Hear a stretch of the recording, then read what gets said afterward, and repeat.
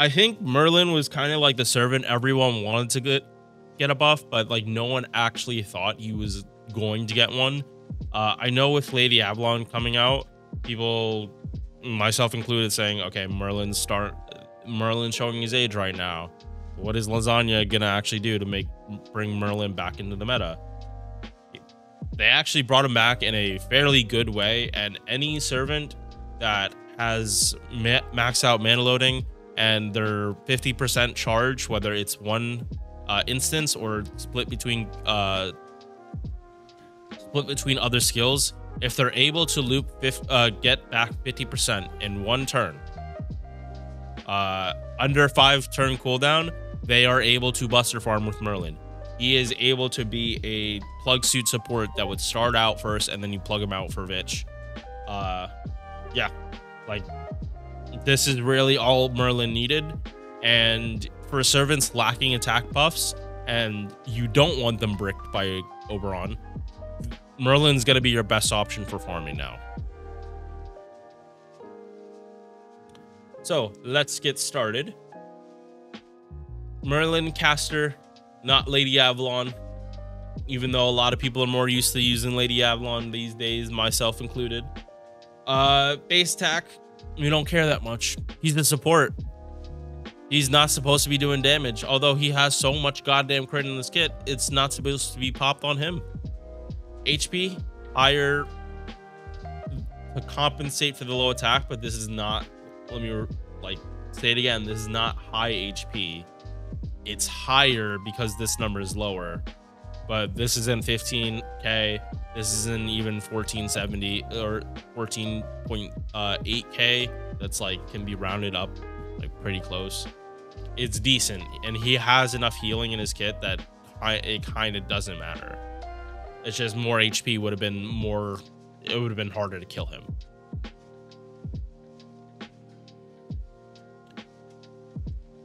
Uh, star weight, star gen, these are normal caster numbers. NP charge is healthy at 0.81% with a triple arts deck.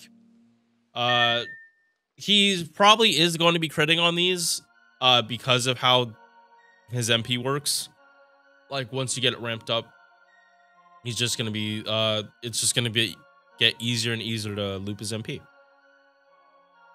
Six hit extra attack, five hit on Buster, and quick is three hits. Uh, very nice deck for considering the year he came out. This was uh, right with Babylonia. And there is this one, which very festive, very nice. And then there's this one where he's just wearing glasses. Uh, you decide which one looks better. Um, for me, it's kind of obvious. All right, first skill, 20% attack and a guaranteed 20 battery for everyone. Uh, just in case you didn't know, with both Merlin and Lady Avalon, the 20 battery is guaranteed and you're only leveling for percentages of attack. Just thought everyone should be aware of that. And this is actually what people thought was going to be buffed. People thought this skill was going to be buffed. Oh, no, no, no. No, no, no. Not yet. If they decide to buff this skill, which honestly is kind of unlikely because usually the reason they buffed charisma wasn't because it was uh they thought like 20% wasn't enough because it wasn't but that was 20% by itself any charisma that has like other effects already on it it's probably lower on the priority list for being buffed than a flat 17% attack for three turns that does nothing else. What they did decide to buff was his uh, party-wide invul. Before it was one turn of invul, uh, star gen 50% for one turn, and then reduced crit attack chance for three turns. Good survival, but we haven't really needed something like this since uh, Castoria came out. Uh, and for a lot of comps, you would be using Merlin with Castoria. Now, the invul is the same. One uh, full party for one turn. Stargen's up from one turn to three turn. Nice, because God forbid Buster servants have um have difficulty getting Buster crits. Why not make it so they can make Buster stars or stars from their Buster NPs even easier? uh, and not only that, it gave everyone 50% crit damage lasting for three turns. This honestly pairs so well with his third skill, considering that crit buff only lasts for one turn. Uh, this is just very nice to just carry them forward. And the big thing, even though it's a very small battery, this is what was needed for Merlin to actually be able to be used in Buster farming. So if you had a servant that had maxed out mana loading and they were starting with a 50% CE, they were at 70. You would have to have used like Rainus, right? Uh Rains, Reines, however you want to, however her name is pronounced. You would have to use her for the split charge just because you didn't have enough. This 30 is literally all Merlin needed to be able to use as a plug suit support. However, there is a huge, huge, huge caveat with this. Because you're not popping your DPS's battery on turn one, the cooldown has to either be five turns across the different skills or five turns on that one skill, or you need the th um the fifth append to reduce the cooldown by one for this to happen. So with the anniversary, this was calculated. Like the append was always going to go live. It's just I think they ran out of time to get everything else implemented for it. Um or what out like they probably weren't decided on how they wanted to like fully fix servant coins. Uh, and they wanted to throw this out like this buff was like prepared for it and they wanted to see how like the units that could already use it could use it like basically whoever like paid for the serving coins or people that had leftover serving coins but you really can't be doing that and locking more farming methods than just the basic one which is already locked behind appends um you can't like the whole thing with mana loading, you can make up for that. That can be made up by using a different CE. You cannot make up um, skill cooldown reduction for Buster Servants. You can't. There is no CE that lets you reduce your skill cooldowns uh, after you pop the skill. That doesn't exist. Um, you can't bring Atlas to do farming because you need Plug Suit to bring in Oberon. This is this was a problem that existed with Buster looping since its inception, but it had less to do with the system itself and more with the servants that are using it. So this is another buff that it's we're not going to see the full full effects of it most likely uh until after we have it we have uh the servant coin fix however there is one servant, and it is so fucking funny that it's her that it really, really doesn't matter whether or not she had skill cooldown reduction. And unironically, that's Artoria Saber. Because she refunded 20 off the MP, you didn't need, and her battery is not tied to damage. You never needed to pop it on turn one in the first place it just made more sense because 30 battery and then you can NP.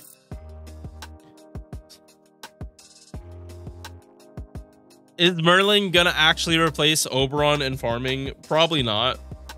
Most servants need Oberon, but now like this is an option for events because when are you most likely to be using a 50% CE? JP has far since moved away from starting from 50 and has been at starting with zero for well over two years now.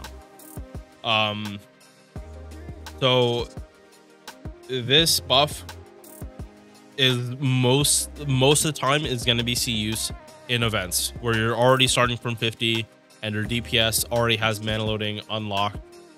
Merlin is going to be used. I think that's awesome just because now people have a reason to be like using Merlin. He's able to be uh getting his bond level without just sitting in the back line. Uh you're actually able to use him in the game. Unfortunately, it's farming. Like they didn't give us a node where like it's not it's not like a storm pod node. Storm pod node Merlin could possibly see more value just because if you're bond point farming, you're not exactly concerned that much with clearing it in three turns. You're more concerned with getting it done and getting what, like 40, 50, 60% more bond points than you would have without it. Uh, or trying to like build your team around doing it in three turns. Uh, yeah, like storm pods, like I like getting them done in three turns, but you don't have to get them done in three turns if you don't want to.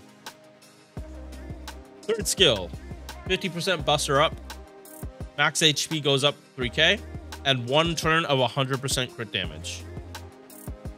Uh, if you don't need the crit damage, Merlin can be you just pop this and then plug suit him out. Um, if you do care about the crit damage, uh, I do believe it depends on the setup, but Merlin, I'm pretty sure, has to be popping his skills in turn one. There is no exception to it. So, I mean, if there's a high health enemy in turn one, like the most recent 90 plus plus uh, for like the event, then like this is actually a really good thing because you need that crit damage for that turn. Although, like 300,000 HP is not an easy hurdle to do in buster farming. Uh, from like the first, like on the first turn, it's not easy to do that. There aren't that many uh, buster servants that are out, able to output 150,000 damage on turn one. You do not see that from NP1s. Uh, maybe 120s and NP5s, not from a 90 NP1. But Merlin brings something to the table that other supports just don't. He brings attack and buster along with little batteries. Uh, if you do normal buster farming, you know that Vich does not provide bu- uh, attack buff. Oberon does not provide an attack buff. If your unit is like oversaturated in buster and NP damage, their max potential damage is not going to go up that much higher than you introducing a new type of buff. Granted, it's only 20% attack, but if your DPS has a very high base attack, uh, they don't have many attack buffs themselves, you're going to see at least a difference. Is it going to be more than Oberon? Absolutely not. But don't you want to save Oberon for farming comps when you actually need Oberon and not bond 15 him on bond farming Morgan when she does not need Oberon's huge battery and kind of doesn't need that damage either. Um, yeah. So his skills they stand the test of time, and this actually brings him into the meta.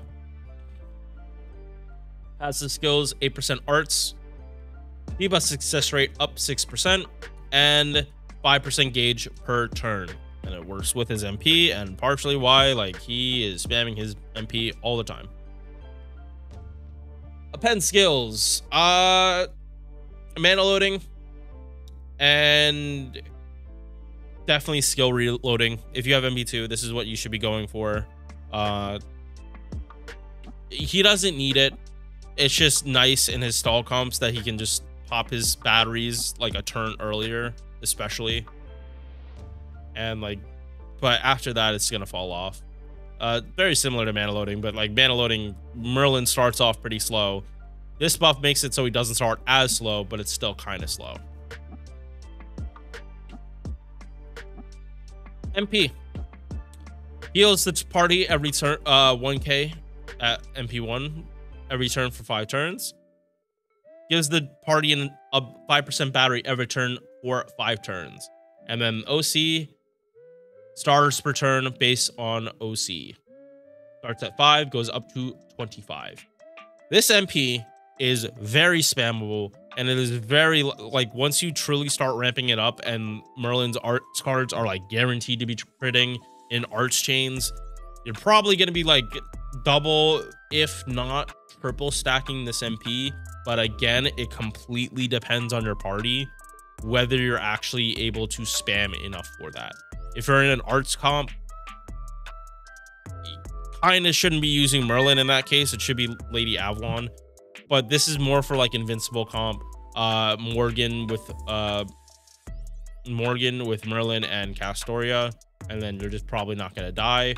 And this crit buff definitely helps Morgan. And now you have a party-wide uh, for if Castoria's shields go down, like either they're gone or like the timing for your comp is just off. And like you need like Castoria didn't have her uh NP and the cadence you needed it. Like uh instead of like an NP every three turns, you unfortunately got drained and now you have to wait an extra turn. Like this symbol is what's gonna save you. Oh, Merlin, Merlin, Merlin, Merlin. You need so many fucking different mat, like gold mats. It is, oh my God. Oh, it almost makes me sick. Dickhead. Why is he such a dickhead, chat? You need so many gold mats. Oh, almost, almost forgot. Bond CE, 10% buster up while he's on the field, and then 15% crit damage while he's on the field. Is Merlin a character you should have in your Chaldea? Yes. Do I think he's absolutely must summon? No. If you have Lady Avalon, you do not need to summon for Merlin. But if you want, like, if you want someone to, like, work better in certain comps than Lady Avalon because Lady Avalon, her whole kit is based on a three turn cadence, not the five turn. There is a lot more pressure, especially at lower copies. There's a lot more pressure for you to be like constantly popping Lady Avalon's NP than it is Merlin. Merlin, if he doesn't get in three turns, you're just not double popping. Like Merlin is Merlin is much more relaxed in when you need to be popping his NP. As long like as long as you're not only popping it once every five turns, you shouldn't be running into like issues with it.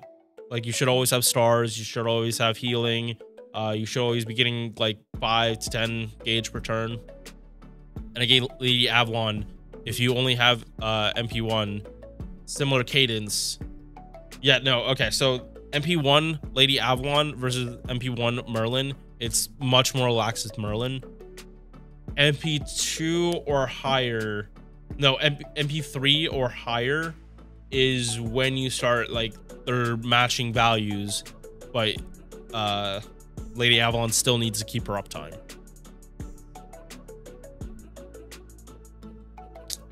Today's my birthday. I'm not gonna treat myself to getting Merlin on my JP account. Uh, I have him on NA and I've had him for the longest time on NA. Like Merlin is literally the first support I got for my JP account. I mean, my NA account, like ever. He's the first one. I remember summoning for him during Summer 4 uh, original run, like that Merlin raid up. I remember that was the first time I got Jack, uh, Jack the Ripper too. Uh, there is a lot of uh, memories with Merlin from me starting early in the game. This guy definitely carried me when I had absolutely no idea what the meta was and didn't realize that the meta was Skadi. And I was a good couple months off from getting Skadi. Uh, is this biased? Yeah. But the newer your account is, the better Merlin is for you. He is a sustain, and now you can use him in farming effectively. Is it the most effective? No but as long as you're able to do the node, does it really matter? All right. Uh, speaking of birthday, my birthday gift to myself is going to be probably NP2 CO. I wasn't going to uh, go for banners. Uh, and I said if Tamamo was the five star, I would do CO. But Merlin is pretty, it's close enough. I did say Merlin, I was guessing Merlin or Tamamo. Uh, so yeah, NP2 CO. Um, let's just hope for Plushie's sake that it's actually Summer Koyan. Otherwise, he is actually going to lose his shit. And I, I genuinely feel bad that there was no tail fluff for um Plushie to be huffing this anniversary and possibly this summer. maybe he gets summer cat, and then he's huffing the most copium copium tail fluff of them all. I'll see you guys in the next one. Peace. Thank you for making it to the end of this video. If you enjoyed, drop a like or sub. Hope to see you in the next one. Peace.